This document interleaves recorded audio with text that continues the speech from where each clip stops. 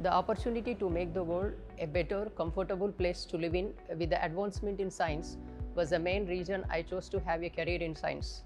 Apart from that, it was simply an academic interest. In my small hometown, Einstein, Newton, or Kalam were all I could consider my inspiration. Every famous person I have heard people talk about was about a man. I wanted to be like them. But being a woman, I did not know that if I could do it. It's a sad reflection of the world that young girls barely have anyone to look up to as scientists. My advice for a young girl considering scientific career, just like me many years ago, is not to hesitate on the basis of what people may say. The only things she needs to be concerned about where her interests lie.